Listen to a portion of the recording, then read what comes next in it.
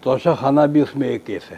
توشہ خانہ کے اندر جو ہے وہ یعنی جو پچھلا چل رہا ہے اس کو اپنی جگہ جو چیز ابھی تک اب عام نہیں ہوئی ہے کہ توشہ خانہ کے رول جو ہیں وہ دوبارہ بننے تھے۔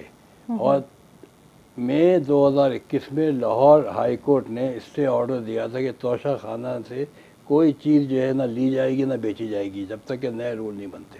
اور سب آپشن ہوگا۔ یہ آپ کو یعنی بتا رہے ہیں کہ یہ Lahore high court chief justice justice Muhammad Qasim Khan کا یہ ڈیسیجن تھا یہ کہ انہوں نے کہا تھا کہ chief justice Khan had set aside the federal government notification wherein the option of Tosha Khana gift article was to be made through sale bids among the officers of centre and arm forces rather than extending the criteria to public and all the gift not specific جو لے لیں اور لے کے چلے جائیں وہ سب منع تھا۔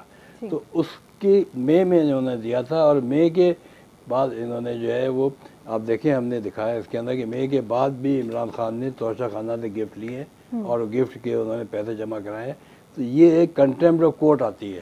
کنٹمپٹ کورٹ جو ہے نا بڑی خطرناک چیز ہے۔ کنٹمپٹ کورٹ جو ہے وہ ایک کورٹ نے آرڈر دیا تھا۔ یوسف رضا گیلانی کو کہ ایک لیٹر لکھو سوئس بینک کو وہ درداری کے سوئس اکاؤنٹ کے اندر کوئی جو سکس ملین ڈالر کا ہار تھا بے نظیر کا اس کے بارے میں۔ اور اس نے وہ نہیں لکھا تھا۔ اور انہوں نے اس کو کنٹے میں کورٹ میں دو منٹ کی سزا سنائی۔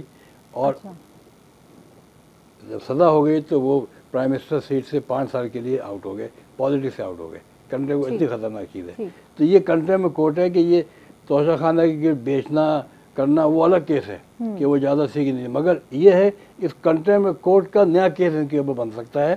اور یہی اسی لیے ان کے جو special assistant to the prime minister Tahir Ashrafi جو لمبے چوڑے موٹے سے آدمی ہیں انہوں نے وہ ان کے بھی مشیر تھے اور ابھی وہ ان کے بھی نئی گورنمنٹ کے بھی مشیر ہیں سعودی اور ساتھ ہی گئے ہیں۔ انہوں نے عمران خان کو کہا ہے کہ بھائی آپ خدا کے واسطے سارے تحفے واپس کر دیں۔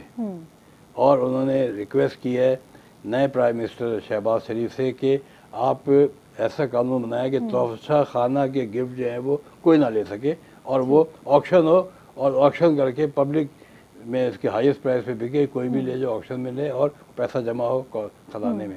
تو یہ بہت بڑا جو ہے یہ یعنی میں آپ کو انکشاف کر رہا ہوں کہ یہ ایک نئی چیز ہے جو کہ عمران خان کے خلاف آ سکتی ہے۔